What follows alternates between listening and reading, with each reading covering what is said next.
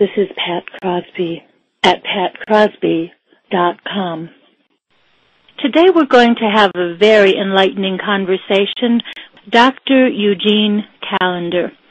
Dr. Callender's career covers a broad span of social, political, and devotional activism. He's walked up broken stairs of Harlem tenements in the slums, all the way to serving our nation on five presidential commissions under five separate United States presidents. He has tirelessly worked for his ministry, and his life is rooted in deep conviction that every human being has dignity and is sacred, and that people should not be judged by external convictions which are arbitrarily assigned in life, but rather by the possibilities that each person is a child of God. Welcome, Dr. Callender. Thank you very much, Pat. It's so nice to talk with you. You have many, many fans in the expanding world of social media, and everyone is delighted to connect with you and hear your current doings on your Facebook page. Thank you, Thank Eugene. You. We're going to be focusing on forgiveness in our conversation. Mm-hmm. And you have a powerful story about your father. Would you share that with our listeners? My father, when I was about 12 years old, I was very happy to have made what we call Patsy's Midgets, which was a, a young community ball team in the local playing field that all the kids at my age group wanted to be on, but my brother and I made it. And so it's Thursday morning when the first game was to be played, and we went to the game, and in the middle of the game, one of the ball players said to me, Eugene, here comes your father. And it just hit me that that was the day for my piano lessons. And I saw my father walking down right field with a rope in his hand. I dropped my first baseman's glove, ran home, got on the piano. He, soon after that came into the house, lifted me from the piano, took me down in the basement, tied me to a pole, and beat me. I, I, I hope you folks don't mind this expression. Beat the shit out of me, to, even to the point that I was in semi-comatose. When he finished, and he would, he, he dared me to cry. The more I cried, the harder he hit me. I fell down on the floor. He picked me up again and took me to the room where the piano was and said to the teacher, now give him his lesson. She said, oh, Mr. Callan, I can't give him a lesson. She, he said, you give him his lesson. I'm not paying you this 50 cents for nothing. Well, she, she was very timid and very nice. She really didn't give me a lesson. She fooled around with me. And I, I could hardly walk when I got up from the stool. I walked, and when I went up the stairs again, and I walked into the bedroom where my mother was, and I said, Mama, I don't ever want to see that man again and I told her what happened, and she was very hurt. But she did, she defended him. She said to me, Eugene, I'll remember, he's your father. And I said, but I don't ever want to see him again. I'm moving up into the attic. if I have to sleep on the floor. And I did. I moved up into the attic of the house, 52 Pleasant Street, Cambridge, Massachusetts. Stayed in a room and slept on the floor. And when I graduated from college, my father showed at my graduation, and I walked off the stage rather than taking my diploma in public there because I was I didn't want to have anything that he could be aware of that was going on in my life. And then I graduated from college and went to seminary. And when I graduated from seminary, I knew I wasn't going back to Boston because of that. So I came to New York and got a beautiful job with the Christian Reformed Church. I was the first black minister or the first non-Dutch minister in this uh, very old traditional Reformed church. And I began my street ministry there. And over the years, uh, it was 47 years at that time that he'd done this to me. And uh, then eventually, one day I was in the of our spiritual teacher, and she said, Eugene, you talk about your mother a lot, but you've never told me anything about your father. I said, I don't talk to my father, and I don't talk about my father. And and she said, when she pointed her finger at me with a very serious look, tell me about him. And I said, you didn't hear me. I don't talk to my father. I don't talk to my father, and I haven't done it. I think I told her at that time, 18 years. And she said, "You tell me about him." And I told her the story, exaggerated a little bit to make her dislike him like I did, but basic story was there. And the result was she got out of her chair, went to her dresser drawer, opened up, took out a beautiful, beautiful purple scarf, woolen purple scarf, and she wrapped it up in tissue paper. She said, "You take this to Boston and give it to your father." Well, I went to Boston, and no, uh, for the first time I went to Boston. Yes, I took it there, and I said to my sister, "Here, take this in to Daddy." My sister said to me, "You take it in yourself." And I'd rather do that. I went home. You had to go back to Boston a second time? I got on a plane, went to went to Boston. My brother met me at the airport, and we started to sing these old spiritual songs when, when we sang in the choir that I started. And we had a great time. When I got to the house, I was so happy and filled with love inside of me. I said to my sister right away, "Where's Daddy?" She almost passed out. And uh, she said, he's in a room, of course. And I walked in that room, and there he was, sitting in his wheelchair. And I said, you know why God, that was his birthday, 90th birthday, Thanksgiving, why God allowed, let you sit to live 90 years old, here's why. I said, for some reason, I'm here to tell you that I love you. And he cried, I cried, my sister cried, my brother cried. And I handed him another gift, and that changed my life. I found peace. I found the power of forgiveness. I became a freer person. I didn't live with this horrible memory anymore, and I've been a happy lad ever since. Looking back now from 2020 hindsight, mm-hmm. you make of all the family dynamics and the healing that went on in your family through this story? Well, I'll tell you, um, my family was always very religious, extremely religious. We didn't go to movies, we didn't go to dances, we didn't go. And my, I had to read the Bible to my mother every morning, and she would give me nice little, nice little, I call them uh, things to say, mottos, or whatever you may call them. And I remember two of them very well. I've used them several times. She said, Gene, never settle for being just as good when you can be better. Mm. And then another one she would tell me, Gene, aim for the sky, and you might make it over the back fence. I, I was very close to my mother. She died early in life when she was 52 years old. And I felt a big gap had come into my existence. What profound truth got you through all these very difficult times? You are full of love. You're so full of love. You're full of love. Wow, Eugene.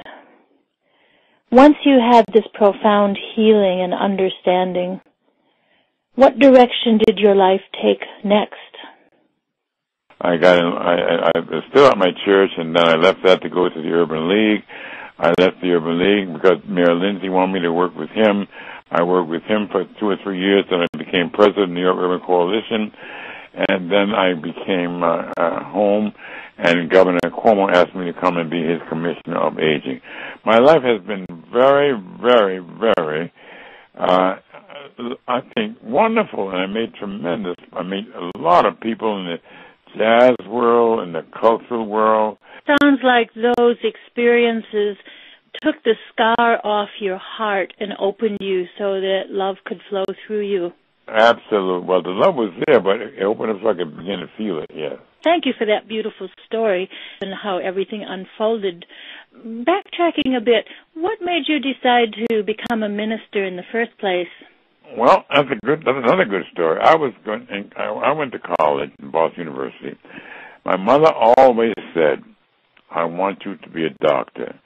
My mother was always sick with some kind of disease, real or uh, uh, uh, imaginative, and and uh, so you know she wanted to be a doctor. So when I went to Boston University, I signed a pre pre medical program. Registrar said to me, "Look, I'm looking at your record here from high school, very good, I was salutatorian from high school. He said, but I think you would do better in the social sciences. I said, no, my mother wants me to be a doctor, and I'm going to study to be a doctor. So I went into physical sciences, and then one day during my freshman year, I was sitting down in a milk bar, which is like a social place where the students gather at Boston University.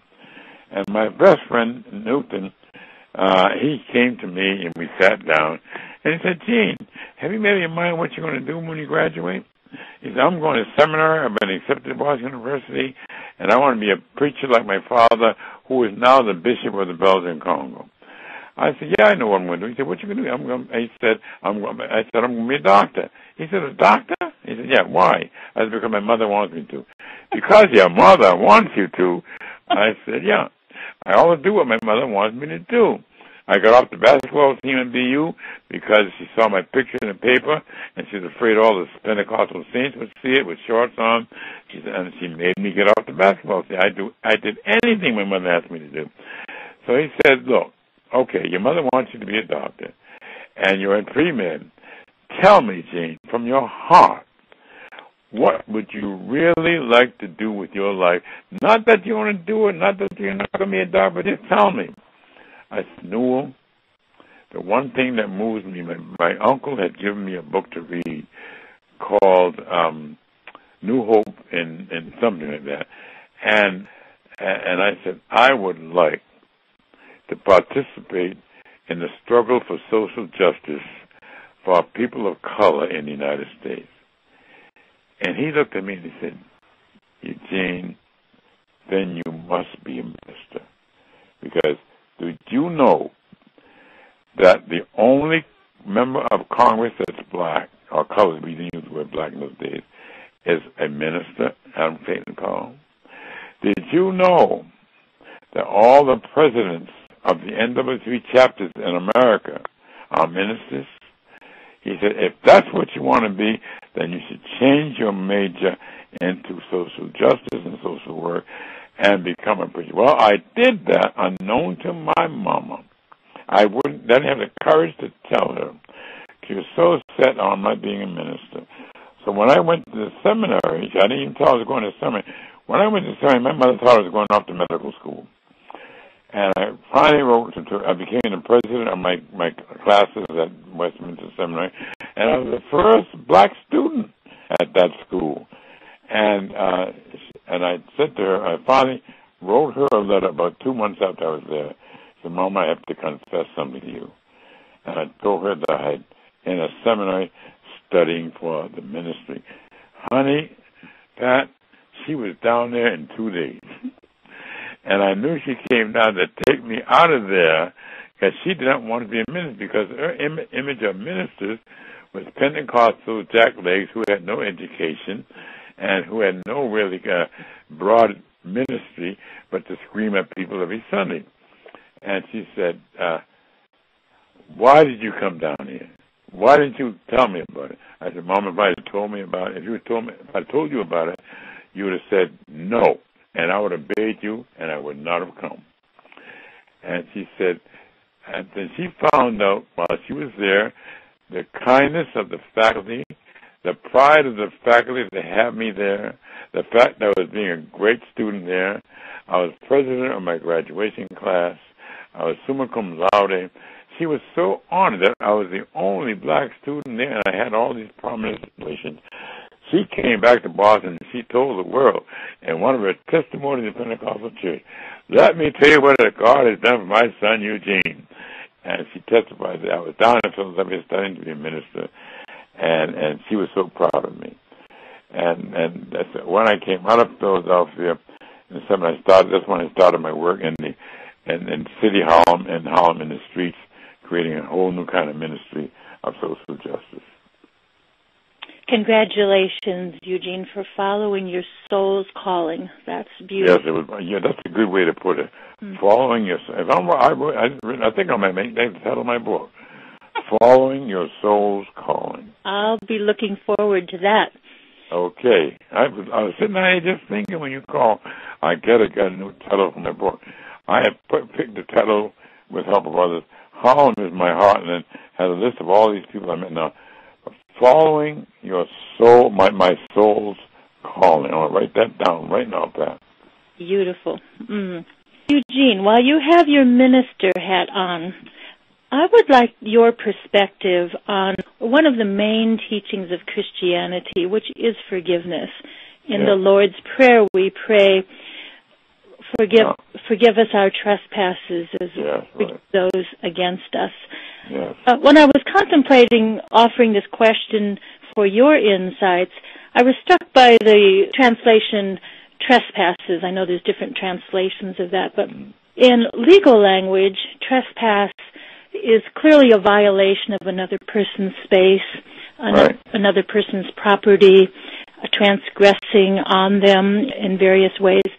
Later in the book of Matthew, Peter came to him and said, Lord, how often will my brother sin against me, and how many Yeah. times should I forgive him? Seven times? And Jesus said, No, not seven, but times. 70 times seven. That comes out to 490. Yeah. I don't know if Jesus meant that to be actually literally fact, but I think what he's trying to point out to Peter was forgive him every time you need forgiveness. That's easy to say, but as you said in your own life story, Sure. carried that pain with your father for Oh yeah, I remember Pat. When I was in therapy in the sixties and for about eight years, and we came to that point in my, about my father said, I don't talk about my father. He said, What do you mean you don't talk about him? I said, I hate him. He said, he said, Gene, you cannot live with that hatred. It'll destroy all the possibilities and potential of your life, unconsciously and consciously. And I tell you, uh, Pat, I, I, I can't even define or express the freedom that I, after I felt that, because I could forgive my father for the cruelty he did to me. I walked in that room in that day, Thanksgiving Day, which is Nine's birthday, and I said, "Do you know why God has allowed you to live to this day to see your ninth birthday?" He said, "No, why?" I said, "Just so I can tell you I love you." I had that forgiveness in me that was given to me by the, the, the human spirit that's in me that began to manifest itself, and I really learned that forgiveness is real and can have its impact on others. How did that play out when you became parole board commissioner and what you called upon to decide if some prisoners should be allowed to be paroled or not? Well, that was very. That's a good question. I had I had some difficulty in the parole board because most of the people I saw were habitual criminals who had repeated their crimes and over and over and over again. And I remember saying to each one of them, I said, you know, how long are you going to continue like that? You know, you're destroying yourself, you're hurting your your relatives, and you're not making the valuable contribution you can make as a human being to society. And so sometimes I voted for their release after three years, and other times I voted that they could stay two more years. But they had to participate with the chaplain in, in some kind of uh, uh, discussion program. Did you see some people actually able to have that healing and open their heart? There were several people, but two or three of them actually became very successful and performers and actors and uh, and uh, jazz musicians particularly, because they were the most. I, I I want to deal with them because I love jazz so much. It, let me it works. It's hard to get to. I'm not saying it's not. I there's no way in the world could get me to go and see my father. I had no intention of ever putting my eyes on him again, or ever speaking to him again. And when we finally reconciled, I said to him, you know, I was never expected myself. I mean, he said, Eugene, you don't know how many times I climbed those attic stairs to seek and tell you how sorry I was about that beating. And he said, I got to the top of the stairs and I started to cry and I turned around and walked back. I didn't have the courage to admit what a terrible person I am. And I said, Dad, you're not a terrible person. I can't explain to you in psychological terms why you behave that way and why you were that kind of person. Because he beat my brother too and my sister. One time he was beating my sister so badly as a young girl. I walked down the stairs. I saw him with this big strap in his hand. She was just a young kid, about four or five years old. I said, "You hit her one more time, and I'll kill you." Pat, I know I would have killed him. He was a big, heavy man. And he turned around and walked away because I think he felt the intensity of my remark. And, and so I, I know the, uh, the possibility of forgiveness. I know of the experience of forgiveness, and I know of the rewards of forgiveness.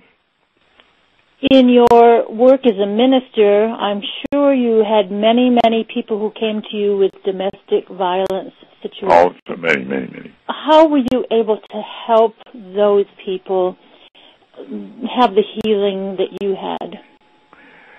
Well, I don't think I could do. All I could do is introduce them to the power and the presence and the value of who they were all these people had a very low sense of self and of, of being.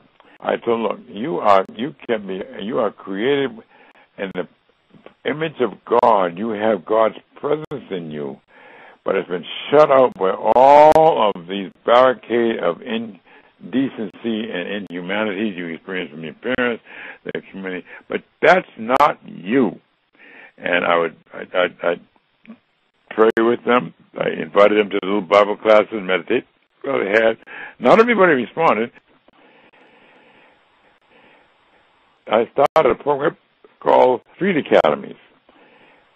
We had 2,000 kids went through our street academies. And I started a high school for dropouts. And 2,000 of them graduated from high school, and several of them went to college and did fantastic work and I see them every now and then, and they keep thanking me and thanking me. And when I had my closing sermon at Church's Master the other day, at least a hundred of them came. One of my favorite quotes is by Martin Luther King. He yes. Says, Forgiveness is not an occasional act, it is an attitude. I know you had many, many connections with Martin Luther King. The context of what we're talking about and in the 60s, I went down to Alabama and participated in the marches of the freedom movement. I had gone other places before that. But when he said he was going to Birmingham, Alabama, and uh, to try to create some justice there in jobs and employment, etc., and going to have these marches, I went with him. And I remember when we walked into through the streets of Birmingham, Alabama, uh, Bull Connor, who was then the sheriff of, of Birmingham, used to beat us up, and the police with clubs, wash us down the street with hoses, turn the dogs on us, and then uh, uh, Bull Connor would, would take his white fire uh, engine and drive it through us and drive us home. And from the first night we were there, we'd all meet in the church at night, sing a few spirituals, and then Dr. King would speak. His first speech was this Brothers and sisters, we had a tough day today, didn't we? It was hard. It was painful. It was harmful. He said, I might even say it was sinful. But let me tell you something, brothers and sisters. We cannot hate Bull Connor. Man, I heard that. I said, this guy is crazy. He said, Bull Connor mistreated us. Bull Connor hurt us and harmed us, but Bull Connor is just as much a child of God as you and we are, but he's not conscious of his beingness. That was one of the most amazing things I ever heard in my life. You cannot hate Bull Connor. You see, you know what hatred does? Hatred hurts the hater, not the person that, you hate. Because he doesn't even know how you feel about it.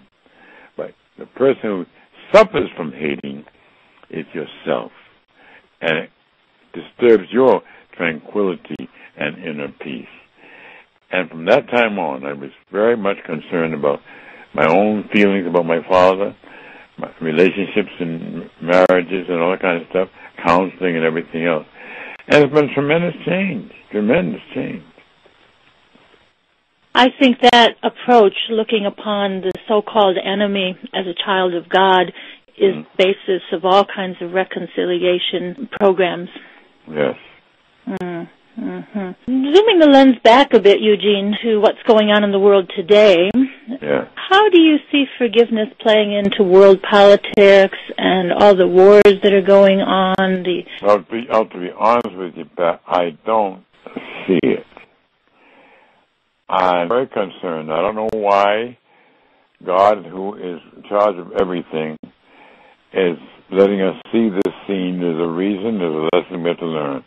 When I hear the rancor and and and hatred in the southern politicians, when I see the wars that's going on in in, in Haiti, in Afghanistan, and in Korea, I can't understand it.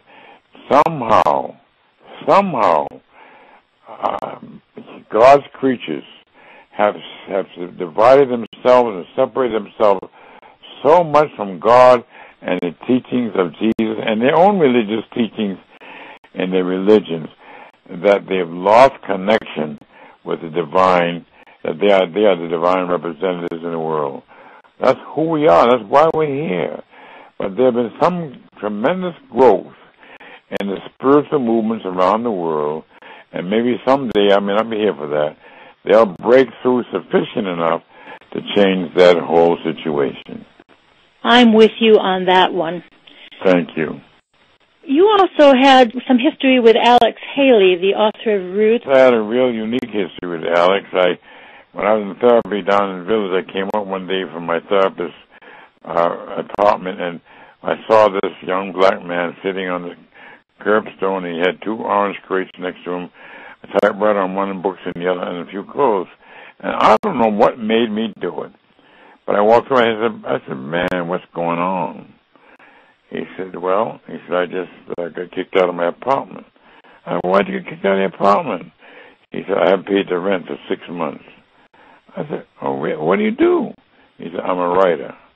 Well, I said, oh my God, tell me, tell me. And so I said, I, I, I looked at him, and he, he seemed very quiet and, and, and, and, and humane. And I said, look, man, I got an apartment up in Harlem. It's, I only got one bedroom, but I got a couch that opens up to a bed. And if you want to come and stay with me for a while to get yourself together, uh, you can come. He got in the car, put his suitcase and whatnot in the car. As we went up, driving up to Harlem, he talked with me about his life experiences. And he told me about the story he wanted to write about this relative of his from Africa named Kunta Kinte. And I said, Alex, is that a true story? He said, Yes, it is. And I said, Can you prove it? He said, I can't prove it. I Got no evidence. But if you call my brother in Kansas City, you call my sister down in Tennessee, they'll tell you the same story. We all know the story. It's passed down by oral tradition.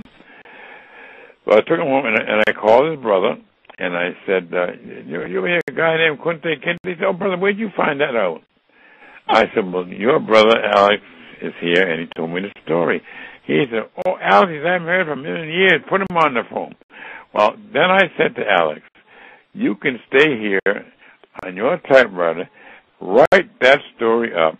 I will take you to the Reader's Digest, whose daughter of the owner I knew. And I would say, I'm sure when they read this story, it'll be published in the Reader's Digest. And it was published in the Reader's Digest. And then Playboy magazine read it. And they found Alex and I, and they said to Alex, we'd like you to do an interview with Martin Luther King. And they sent Alex to do an interview with Martin Luther King. And then he said, then we'd like you to do Malcolm X. And do you know Malcolm X? And of course, Alex said, no, but I think my friend does.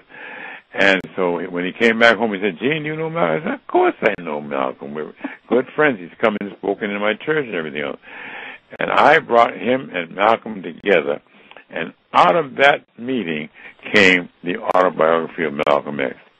When I heard you telling your stories, I was struck by one thing. You talked about when you went south with Martin, you yeah. went through those beatings, and your life opened with your father beating you. Yeah.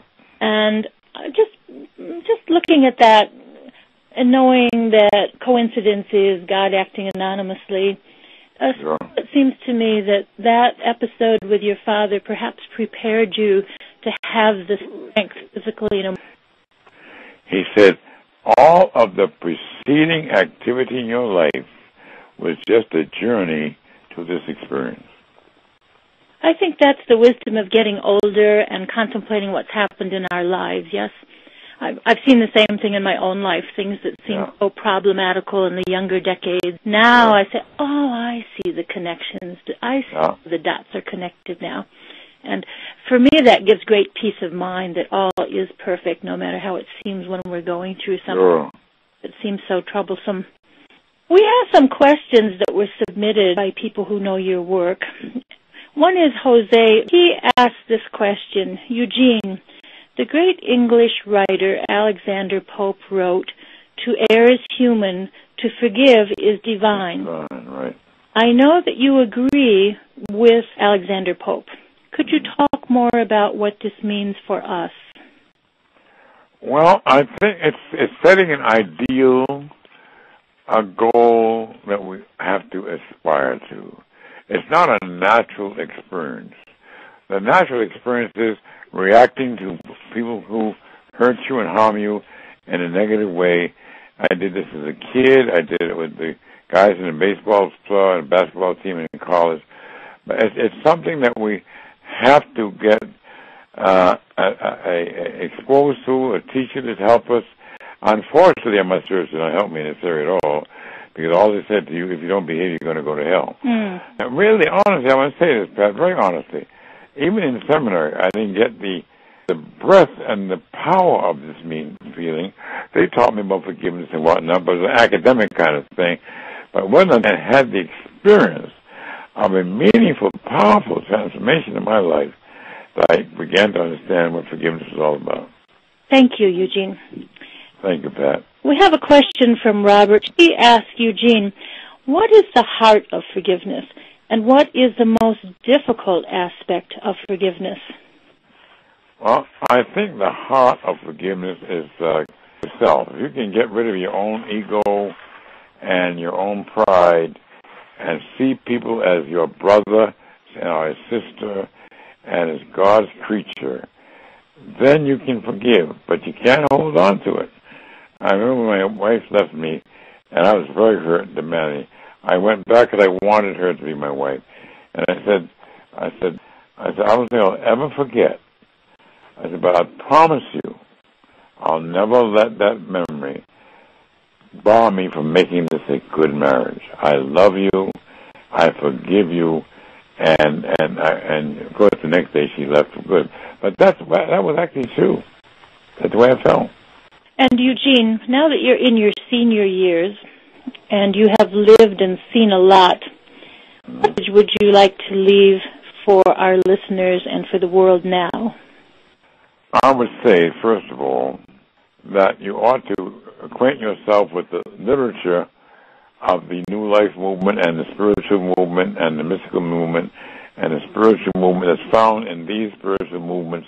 But they have their books and read those books. The point is, I think that their literature is filled with the spiritual transformation that they've gone through, and it comes through to you in those books. That's the beginning.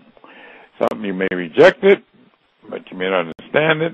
But I think once you open your heart to it and your mind to it, that begins a process.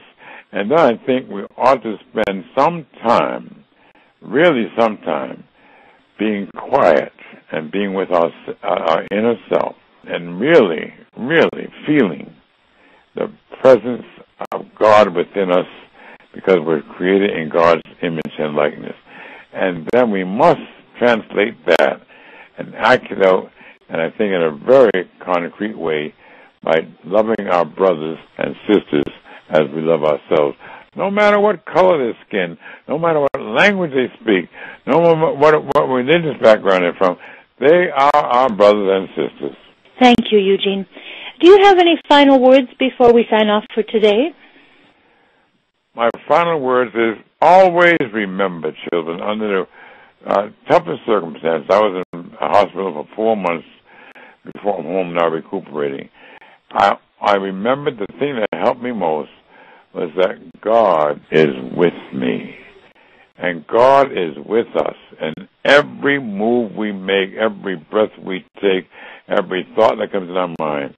And I ask God all the time, like my mother says, pray for wisdom and understanding. And I said, Lord, just help me to understand